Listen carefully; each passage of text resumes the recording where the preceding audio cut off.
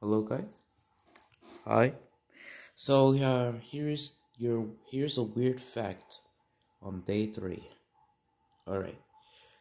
Did you know that McDonald's used to have uh used to have a used to have a like a gumball machine that is like a, that is okay. McDonald's used to have a have a have a gumball machine with a flavor of broccoli. I don't understand why McDonald's think it was a good idea. Maybe it's because they want kids to like eat their veggies or something. So maybe they decide to like I don't know, just put the vegetable ingredient and in the in gumball and yeah, to make it look healthy. I guess I don't know. Yeah, here that's your weird fact for today.